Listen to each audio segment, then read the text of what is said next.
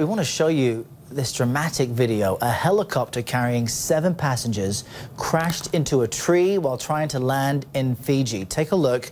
This dramatic video was caught on camera by a nearby tourist. You could say a little too nearby. Watch that.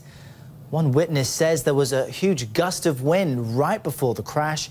Thankfully here, the very best part is that no one was seriously hurt. But let's watch it again. The helicopter comes in slowly. It seems as if it's going to make a perfect landing.